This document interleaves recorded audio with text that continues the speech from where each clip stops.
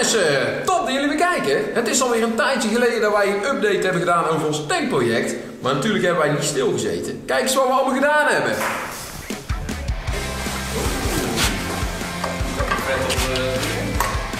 Wat een goedje, waar welke ding. startersleutel.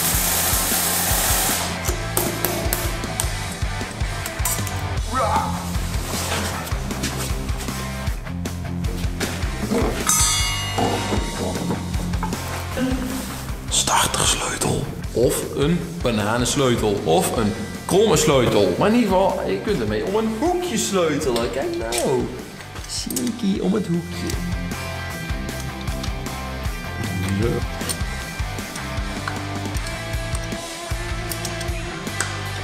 Het is zover. We kunnen de motor erin gaan hijsen nu. Oké, we hem optillen.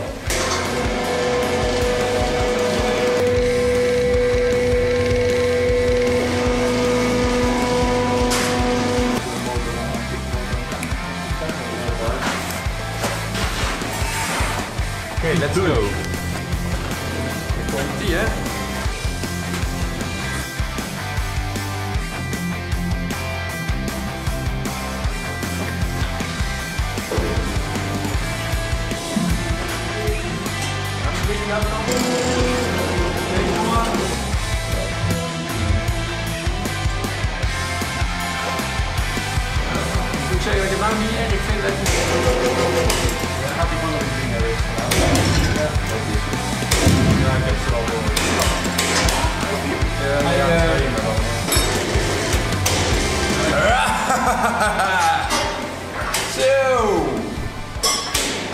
Zit erin hoor!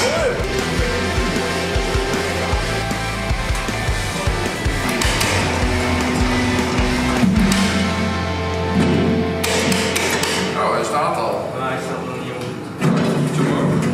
Wij zijn bezig met de puzzel. Dit is de motorolietank.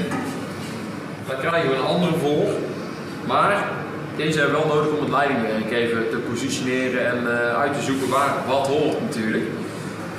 Daar, daar, daar. Oh, oh, dit is een verontrustende vaststelling die wij hier doen. Het lijkt erop dat de olietank van een type 69 anders is dan van een T55. Bij ons zit de, de vuldop hier.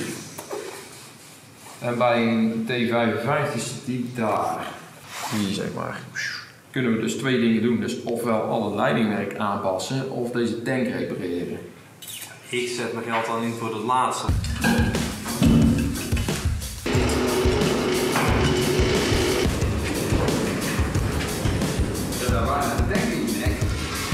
Daar is hij, de patiënt. Rolkleintjes ingeroest. Kijk hier. Dit zijn allemaal kleine rotgaatjes.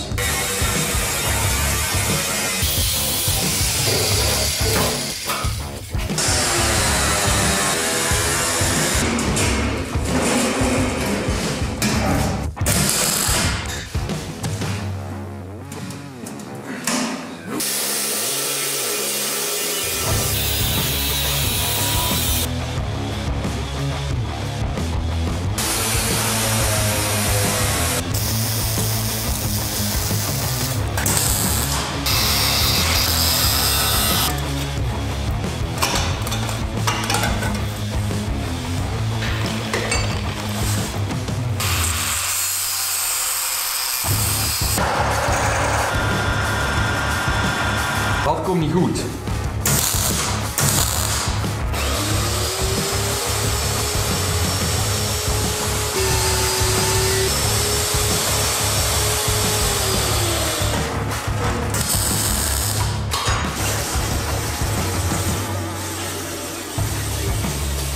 Behoorlijk lek ook. Daar in de hoek. Ik ben als het goed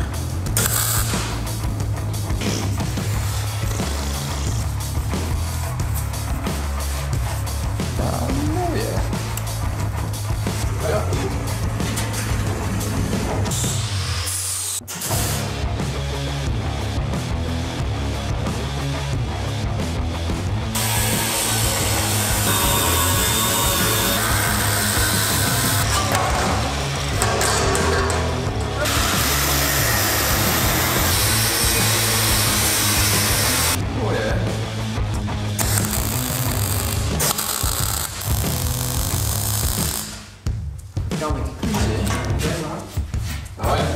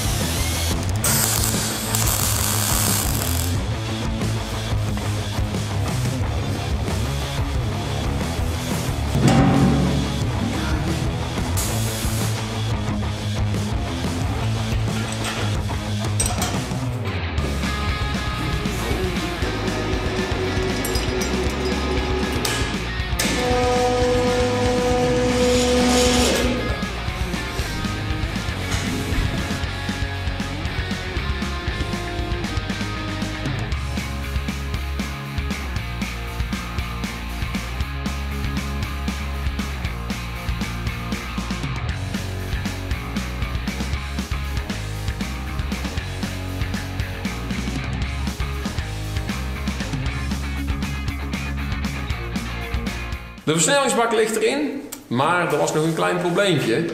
Een van de lage bussen van de schakelstangen die was kapot gegaan bij demontage. Kijk, dit. Dit zijn dus de, de lagerbussen die rond de assen van de schakelvorken zitten. Kijk deze. Deze wilde er niet uit. Nee, maar de flansen gingen wel af, maar de bus zelf niet. Dus die gaan we even repareren.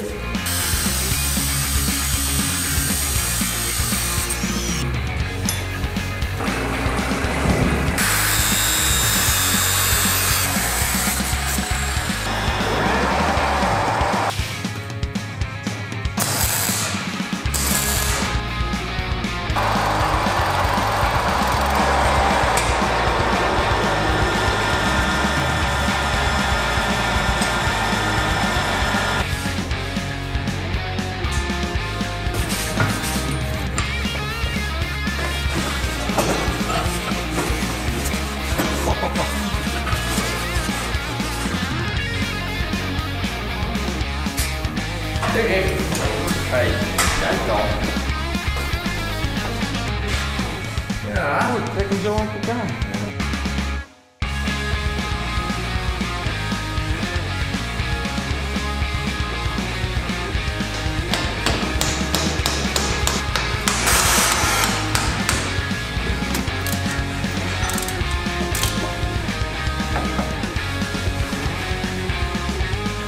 Ah, zo moet hij, ja.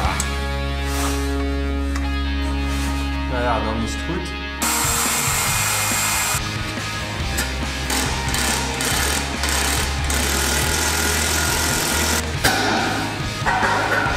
De naaf eh, zit best wel vast. Eh, dit is eh, aluminium. Eh, die is staal. Eh, aluminium zet een stuk meer uit dan staal, dus we gaan het aluminium een beetje warm stoken.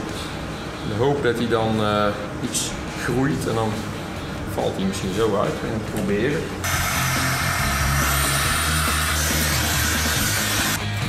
Hoppatee.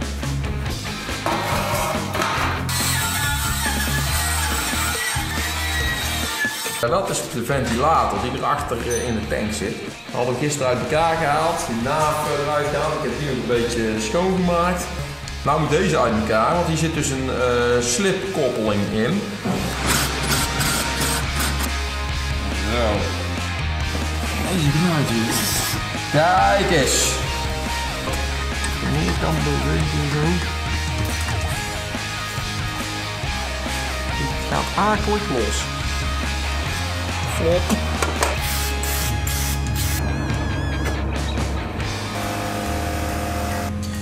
dan draai ik hem vast.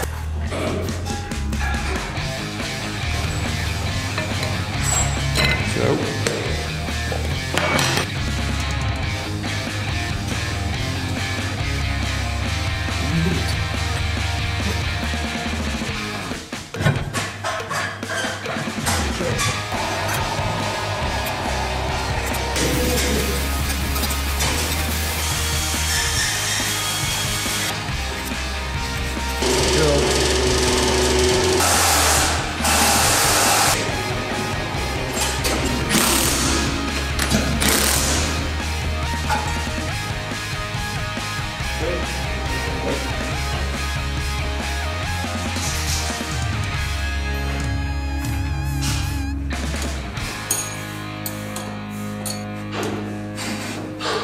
Het hè, slipkoppeling. Kijk.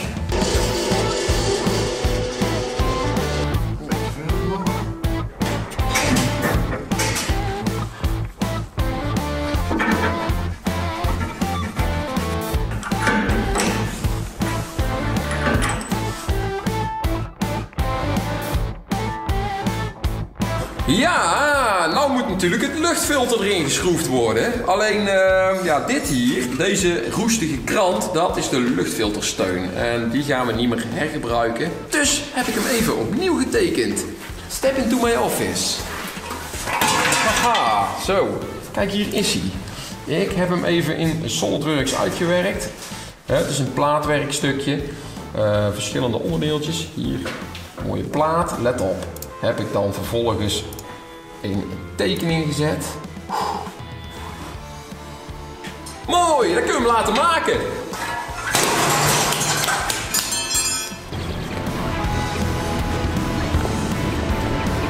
Zijn we weer?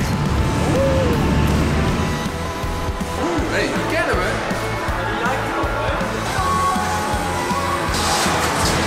Dit jullie. Dat is hem.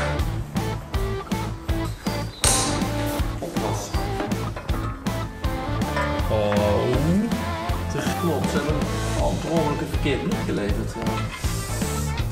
Nee, dat gaat niet. Ja joh, hier. Hij haalt het. Ja. Ja. Oh,